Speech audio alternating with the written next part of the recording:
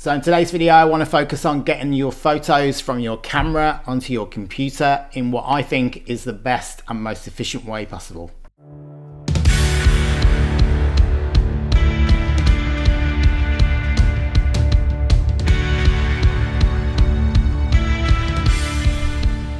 Hi guys, my name is Steve Gerrard. I'm a photographer here in Montreal. I shoot weddings and bands and portraits and all that kind of good stuff. But today I want to focus on very important part of the process, which is getting your photos after a shoot from your camera onto your computer, onto a hard drive and backed up safely and efficiently and in an organized manner.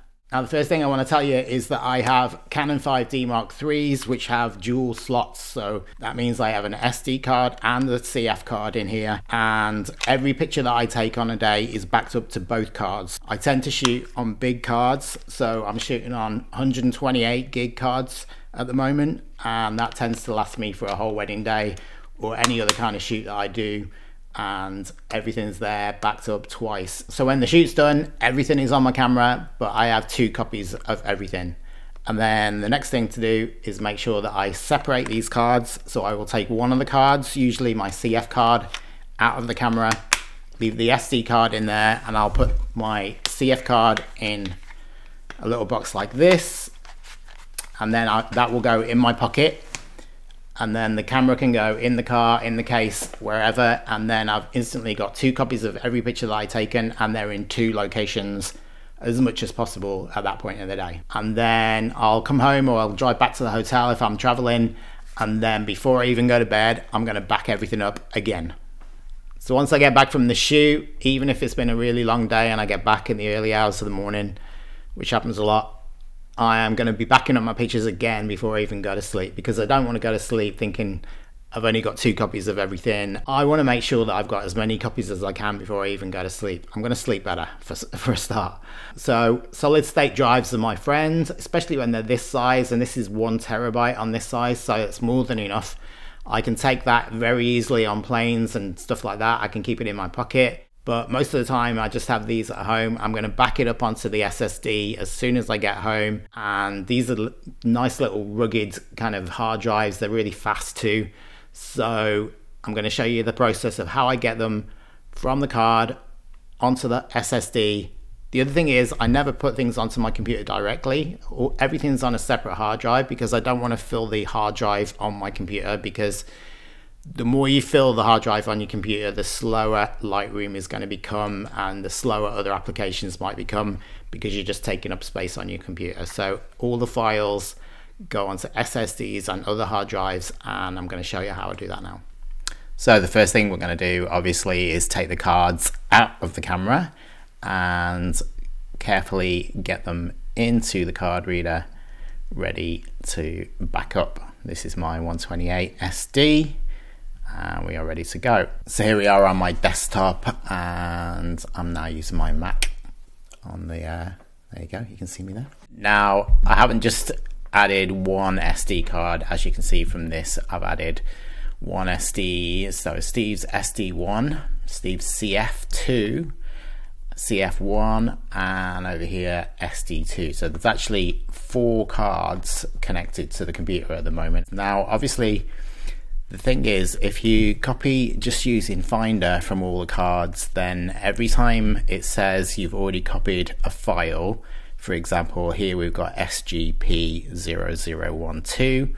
If it tries to copy that from the CF and the SD card, it's going to tell you that you've already backed it up. But sometimes what happens is when you've got different folders like this, if you can see my arrow there, you might have SGP12 there and I think in here we've got SGP12 in another folder as well. But if you look at the thumbnail on this one SGP12 and then in this folder SGP12 look at the thumbnail you'll see they're actually completely different pictures. It's just that the camera has chosen to name them that so if I try and copy both of these pictures, and maybe I actually want, but not in this case, but maybe I actually want to make sure that both of those pictures are backed up. If I try and copy both of these using folder, I'm going to get a message telling me that I've already copied it, and that is where you can run into problems because you you might think that you've backed up an image when actually it's another image with the same file name that you've backed up. So to avoid that, I have a process using Photomechanic. Now, most people that I know that use Photomechanic use it for culling, but I actually use it just for ingesting. My culling is in a completely different software now. I used to use Photomechanic for years, but now I am using this new software, which I'm going to talk about in another video. Um, but for now, we are going to use Photomechanic to ingest all these cards and make sure that we get all the pictures copied across and nothing gets missed. So I'll show you how I'm going to do that. Okay, so here we are in Photomechanics. I'm going to show you how I get my cards ingested. And if I go up here, we can go to File, Ingest, and hopefully here it's going to pick up all the cards and how much is on them. So you can see CF1, CF2, SD1, SD2, and over those four cards, we have a lot of pictures around about 230 gig of images that we want to back up. So the first thing we're going to do is click on all of these cards and the incremental ingest will only copy new photos that you haven't copied already to a hard drive. So we definitely don't want that because we want to make sure that everything that's on these cards is backed up. And then here we're going to click on merge disks into same destination because we want to make sure that everything that's on these is going to go into the same place and all be together. So now here you can see it's saying source directory structure. That's if you want to set separate folders for different images, but we don't want to do that. We want to copy all of this into one folder and then copy photos directly into primary and secondary folders.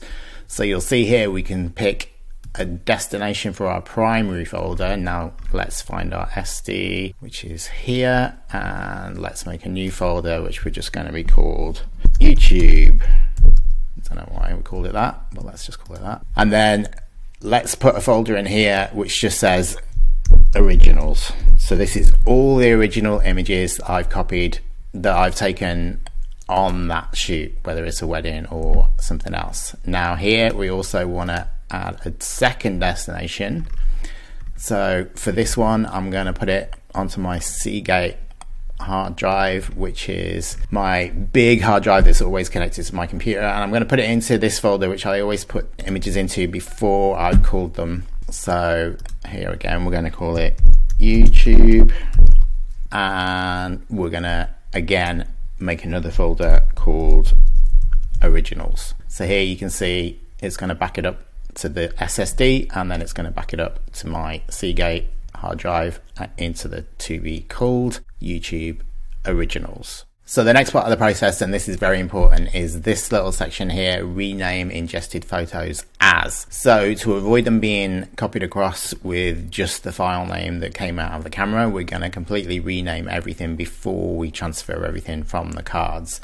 And this is a nice little trick that I got off my friend Adam Johnson. So I just want to give him some props because here you can see you've got the year, month, day, hour, minute, second. It's basically giving you a file name made up of the exact second that the image was taken, which means that we can put them in time order after we've ingested them. So I'm going to show you how to do that. If I get rid of all these first, now we go down to variables, which is here. And then we're going to scroll down until we find the time and you can see all the different kinds of timestamps that you can add to it. So we're going to build the file name from here. So we're going to click on year four. That'll give you a four digit year. So 2021. Then we're going to go up to the month, which is here, and we're going to click on month zero. Now, the reason you click month zero, actually double click month zero rather than month is because you want that zero before any single digit month like February, it will give you 0, 2 instead of just 2. And then we're going to go to day. Same thing there, get the day 0. You can see it jump in over there on the file name. And then we're going to go to hour. And we're going to choose the hour 24. So we get the 24 hour clock. And then we need minute, which is right below it. There's only one option. We want that. And then obviously you can probably guess second and then we can even go sub-second just to be super accurate and then we've got the whole thing happening right here. And then from there, we're going to add on just the original file name to the end of this. So if we scroll all the way up, we can find file name base. So here it tells you file name of photo without the extension. And we're just going to add that onto the end. So there on the end, you can see file name base and worst case scenario, if you copy these across and you've got a, a corrupted image, you can find it on the card still because you can check what the original file name was and go and find it on your card. Now below this section you've got these uh, options, open contact sheets in the background, we don't really need that. Erase source disks after ingest, we don't really want to do that because it's going to erase all your cards and I'd rather be in control of when I do that. And unmount source disk, we don't really need to do that. And then we can just hit ingest. And as soon as I hit ingest, that is basically going to take every file off these four cards it's going to copy it to two destinations, which we've set up. It's going to rename it with the time that it was taken, plus the original file name, and everything is going to be in order of when it was taken with the original file name on the end. So let's hit ingest. Okay, so here you can see that we are getting these little progress bars, just the same as you would in Finder, telling you how much has been copied. This card obviously hasn't got as much as the other three, so that's going to be finished quicker. And this can be a long process, especially after a full day shoot or a wedding. So normally I would start this going and then maybe go to bed. And by the time I get up in the morning, hopefully everything has copied across safely but if I was doing that in Finder, then I would get up and I would look, and you might not know if there'd been a problem with the copy. You just keep your fingers crossed, or you get an error message, but you don't really know which card there might have been an error with. So, as an example, if the hard drive that you were copying to got full, then Finder would just stop and maybe give you some kind of error message, but it's really vague and it wouldn't really tell you what the problem was. But with Photo Mechanic, what's going to happen is these yellow boxes that tell you basically that everything is copying across fine at the moment. If there's an error, one or more of them will go red and you will get a little message down here telling you exactly what the problem has been. If you get up in the morning and all of these boxes are green, then you can give yourself a little high five because everything is copied across nicely and you know that everything is safe and everything you can see the files are being renamed with the date followed by the time and then the original file name which is exactly what we wanted and then we can put everything in order. So I'm just going to let this carry on going and we'll come back when it's done. Okay so now it is the next day. I left these overnight and you can see one, two, three, four cards all copied. We've got green lights on all of them, which means that everything's copied across, everything's been renamed, and there was no issues whatsoever. And if we go in here, let's just get rid of Photo Mechanic. And now you can see we've got this folder here with the originals and 15,203 items in, and that's on my SSD.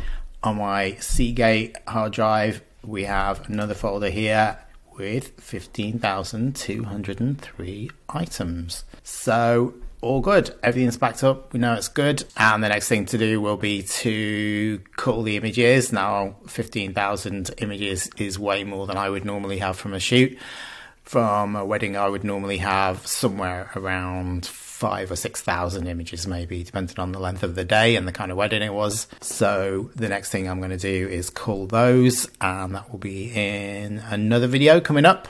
Now, the very last part, but another very important part, is my online backup. Now, there's various companies that do this. Backblaze is probably one that you've heard of a lot. But I actually use a company called Live Drive, and you can see up here I get this drop down box from their icon. I can go into my control panel, which is there, and if I go to settings, and here you can see that I've set Live Drive to automatically back up this folder, which is where we put one of our backups from Photo Mechanic, which is to be called on the Seagate drive and you can see this little wheel is going around which means it's automatically working. I didn't have to do anything. It's just worked out automatically that something is going on and there's new files in that folder.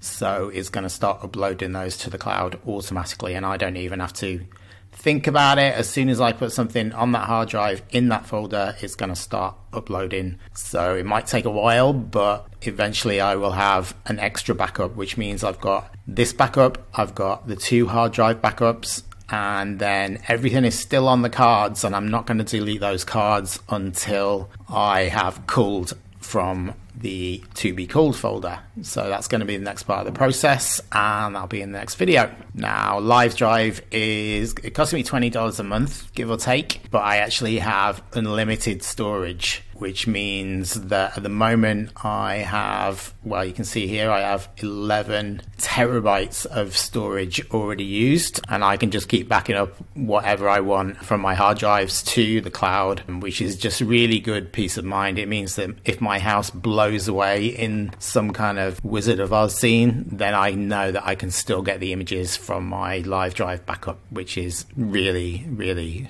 nice to know. Now, one thing you may have noticed is that all the images that you're seeing in my photo mechanic are actually in black and white which may have confused some of you, but I always shoot with my previews in black and white. So on the back of my camera, I see everything in black and white, and there's a good reason for that. I'll explain it in detail in another video, but I've been doing it for years. So Photo Mechanic is taking the information from the JPEG preview part of the file, which is just in black and white. All these pictures will come in color as soon as I get them into Lightroom. So you'll see that when we get around to the editing video. So there you go, that's the first part of my process. And if you found any of that useful, I'd appreciate a little like below. And if you subscribe, you'll be able to see the next video is where I'm going to be talking about culling and editing and the whole delivery process and every single part of my workflow in detail. So that's going to be coming up. And if you've got any questions, leave them in the comments below. Otherwise, I will see you on the next one. Cheers, guys.